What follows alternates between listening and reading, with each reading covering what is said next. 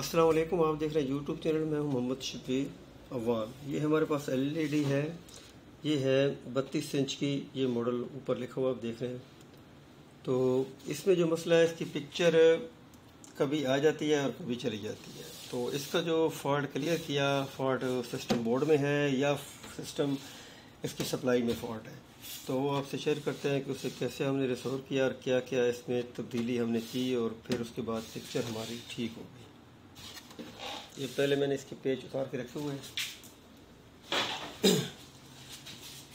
ठीक है, इसका ये है सिस्टम बोर्ड हैगा, और ये है इसका पावर बोर्ड यहाँ से 220 इंड होती है, और ये आ जाता है इसका बैक लाइट की पैनल की लीड्स और यहाँ से ये जो इसके 5 वोल्ट 12 वोल्ट और यहाँ से आते हुए, ये डायरेक्टली यहाँ पे आ जाते हैं।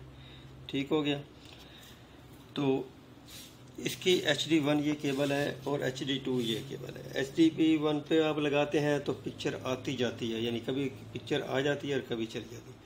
इसकी बड़ी वजह ये होती है कि आप ये ना समझें कि इसका प्रोसेसर में फॉल्ट आता है या इसको प्रोग्रामर में है, या इसके ये ग्यारह सतारह लगा हुआ है, इसमें भी फॉल्ट आ सकता है। लेकिन जब तक आपकी बैक पे सप्लाई क्लियर नहीं होगी, उस वक्त तक इसका सिस्टम सही तरह ये प्रोसेसर और प्रोग्रामर काम नहीं करेगा।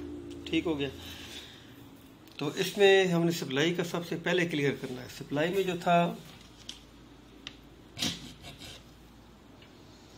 ये कैपेसिटर हमने आउट ऑफ़ निकाला है। ये तकरीबन देखने में ठीक लग रहा है। ये है 1500 यूएफ है 10 वोल्ट में है। 1500 यूएफ और 10 वोल्ट में है। कोशिश करें इसका जो है ये यूएफ वोल्टेज का जो है सेटअप ये 10 में ही रखें 10 वोल्ट में रखें। क्योंकि यहाँ जो करंट का निज़ाम है वोल्टेज का है, वो पाँच वोल्ट है। तो पाँच वोल्ट में जो सही कैपेसिटर काम करेगा, वो दस वोल्ट में ही काम करेगा सोलह का काम नहीं करेगा। इसलिए कोशिश करें यहाँ पे दस का ही लगाएँ। पंद्रह यू सोलह यू मत लगाएँ। उसके बाद एक और आ जाता है, यहाँ पे आगे आ जाते हैं। ये कैपेसिटर है, ये है चार सौ सत्तर यू एफ़ ये भी हमने चेंज किया है। यहाँ पे आ जाता है। ये भी इसका और इस कैपेसिटर का, ये दोनों का काम इसकी वीडियो पिक्चर पे बहुत ज़्यादा असर पड़ता है। अगर आपका ये दोनों ख़राब हैं, देखने में सही लग रहे हैं, देख रहे हैं आप, इसकी बैक साइड पे आप देखें, कोई फूला हुआ नहीं है। लेकिन ये दोनों कैपेसिटर आपको चेंज करने ज़रूरी हैं, तब भी ये सप्लाई के एम्पेयर पूरे होंगे और ये प्रोसेसर और ये प्रोग्रामर सही काम करेगा। ये देखें, ये इसकी वन की केबल है, यहाँ पे हम लगाते हैं।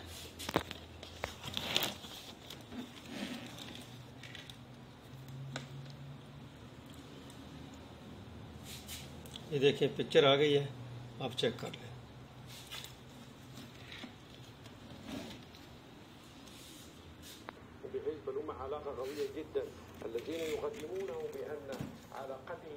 देख लिया आपने। ये एल जी का मॉडल है। अभी पिक्चर इसकी क्लियर है आप देख रहे हैं स्टेबल है। पहले पिक्चर ब्लैक हो ब्लैक हो जाती थी और फिर कलर आ जाता लेकिन अभी ये स्टेबल है पिक्चर पिक्चर में अभी बिल्कुल क्लियर आ रहा है तो ये था इसका मसला। जो सप्लाई में क्लियर हुआ है, ना कि आपके इसके प्रोसेसर में फॉल्ट है, ना प्रोग्रामर में। ये किट बिल्कुल ओके थी, ये क्लियर हो गया। ओके, दो में रखें याद। ओके, अल्लाह हाफिज़।